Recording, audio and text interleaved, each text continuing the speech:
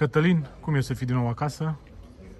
Ia uitați cum e să fii din nou acasă. E cea mai frumoasă atmosferă ever and forever. Primul, primul lucru pe care l-am făcut, m-am dus frumos, am mâncat brânză cu mălicuță, cu smântână și două ochi. Deci clar că am mâncat românește și abia aștept să mănânc și sarmale de Paști. Deci abia aștept. De ce ți-a fost cel mai dor? Cel mai dor mi-a fost de fetița mea de Natalis, mi-a fost dor de soția mea, mi-a fost dor de părinții mei, de fratele meu, de prietenii mei, cam de toți oamenii importanți din viața mea. Ce a însemnat această experiență Survivor pentru tine? Cred că în Survivor, cred că am bătând 2 ani de zile, zic eu. A fost o experiență foarte grea. Lupta adevărată nu era pe, pe traseu, lupta adevărată era în camp, cu colegii tăi, cu echipa ta. Uh, această experiență m-a făcut să, să realizez lucruri mult mai importante, să mă bucur de orice moment frumos, să mă bucur că mănânc un măr, că, nu știu, că mă joc cu un animal, că mă joc cu fetița mea. Uh, acum am realizat că lucrurile simple te fac mai fericit.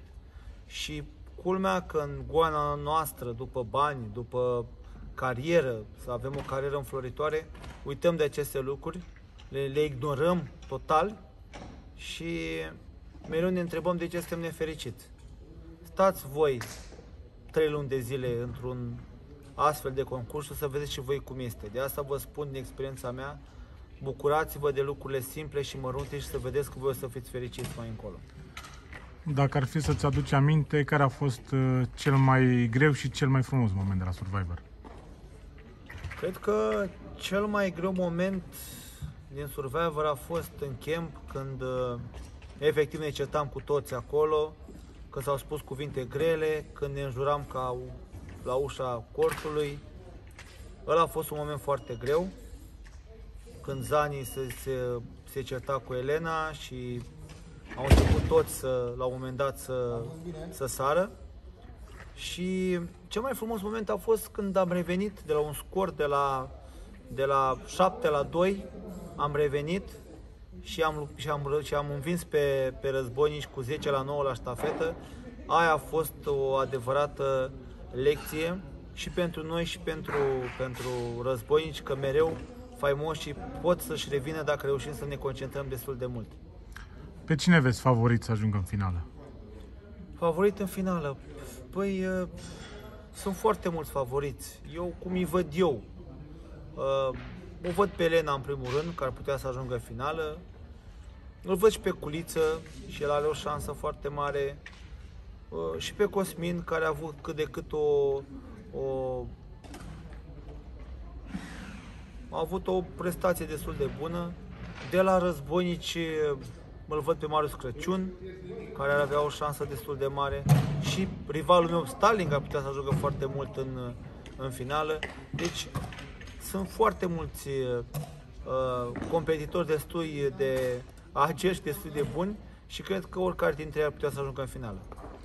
Dintre colegii tăi, cu cine ai rămas în relații foarte bune? În relații foarte bune, când am plecat, mi-a rămas, rămas bun de la toți, adică nu am încercat să fac vreo discriminare. Clar că Elena, Elena a fost uh, cea mai apropiată de mine. Cosmin a fost un băiat foarte fain. Culiță m-am înțeles destul de bine cu el.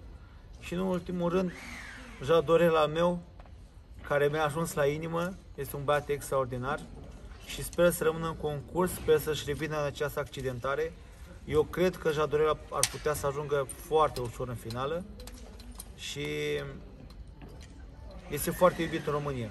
Așa că cred că am întâlnit oameni deosebiți, oameni faini și a rămas și cu această chestie în, în inima mea. Ți-au lipsit galele? Doamne, când mi-au lipsit galele, mi-au lipsit galele, clar că mi-am dorit foarte mult să aflu ce s-a întâmplat uh, uh, la gara pe care am avut-o. Uh, am văzut meciurile, am fost foarte mulțumit și abia aștept să, să organizez următoarea gală, care va fi pe 4 iunie, între Andrei Stoica și Pavel Voronin, va fi revanșa și vă, vă, vă așteaptă foarte, foarte multe surprize, așa că după Paști, pe 4 iunie pe Pro TV și pe Sport Extra să vă uitați la Dynamite Fighting Show ediția a 11-a.